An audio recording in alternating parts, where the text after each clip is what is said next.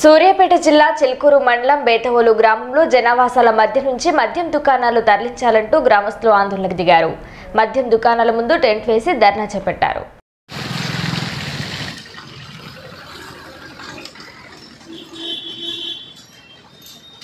ఊళ్ళో ఉన్న wine shop వెంటనే! ఊళ్ళో ఉన్న వైన్ షాప్ వెంటనే! ఊళ్ళో ఉన్న వైన్ షాప్ వెంటనే!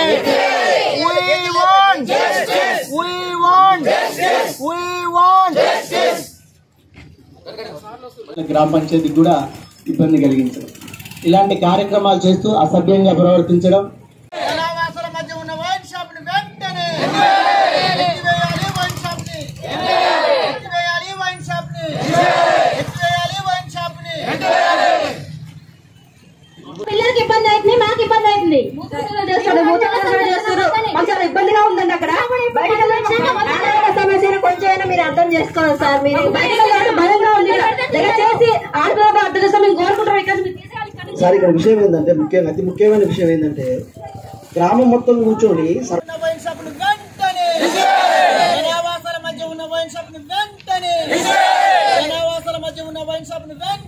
అతిపెద్ద గ్రామ పంచాయతీ బేతోలు గ్రామం. దాదాపు ఇంచుమించు పదివేల గ్రా జనాభా ఉంటుంది. ఈ పదివేల జనావాసం మధ్యలో ఊళ్ళో నడిబొడ్డున ఈ వైన్ షాప్ని ఏర్పాటు చేయడం జరిగింది. వైన్ షాప్ వల్ల ఎలాంటి అసభ్యకరమైనటువంటి సంఘటనలు జరుగుతారో ఇప్పుడు ఈ మహిళలు వివరించడం జరిగినది. అనే గత రెండు సంవత్సరాల నుంచి జరిగినటువంటి అసభ్యకర సంఘటనలు కానీ మూత్ర విసర్జన చేయడం కానీ అదేవిధంగా మందుబాబులు మందు తాగి ఇక్కడ చిత్ర విచిత్ర విన్యాసాలు చేయడం వల్ల ఇలాంటి అంశాలన్నిటినీ పరిగణలో తీసుకొని ఈ వైన్ షాప్ని జనావాసాల మధ్య ఏర్పాటు చేయ చేయొద్దు అనటమే మా ప్రధానమైనటువంటి డిమాండు.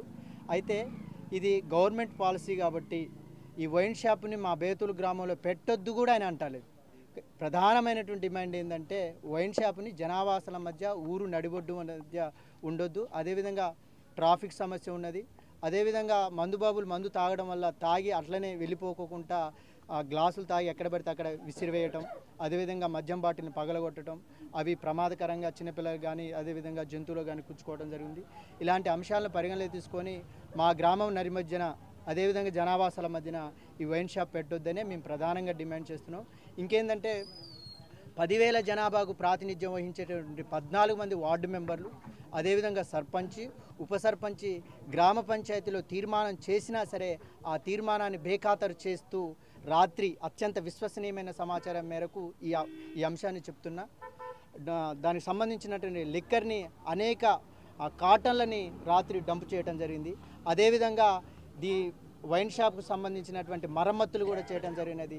ఇలాంటి సంఘటనలను ప్రధానంగా దృష్టిలో పెట్టుకొని మద్యం షాపు రేపు మాపు ఓపెన్ అవుతుందనే ఉద్దేశంతో మేము వచ్చి ఇక్కడ కూర్చోవడం జరిగింది. ఇలాంటి డిమాండ్లని మేము చెప్పినటువంటి డిమాండ్లను మొత్తము అధికారులు అదేవిధంగా ఎక్సైజ్ డిపార్ట్మెంటు ప్రధానంగా పరిగణలో తీసుకొని మా సమస్యను పరిష్కరిస్తారని ఆశిస్తున్నాం. అందరికీ నమస్కారం. నా పేరు త్రివేణి.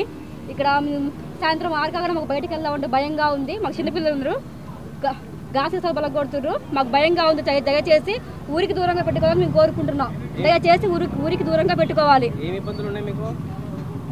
తాగి జీతాలు పగలగొడుతున్నారు సీసాలు పగల కొడుతున్నారు కూరగాయలు పోదామంటే మాకు ఇబ్బందిగా ఉంది. మూత్ర విసర్జన చేస్తున్నారు మేము బయటికి వెళ్ళలేకపోతున్నాం. దయచేసి మీరు ఊరికి దూరంగా పెట్టాలని మేము కోరుకుంటున్నాం. నేను కంప్లైంట్ ఇవ్వలేదా?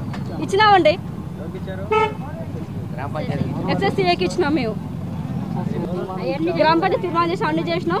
ఈ అధికారులు ఎవరు పట్టించుకోవట్లేదు. దయచేసి ఊరికి దూరంగా పెట్టాలని.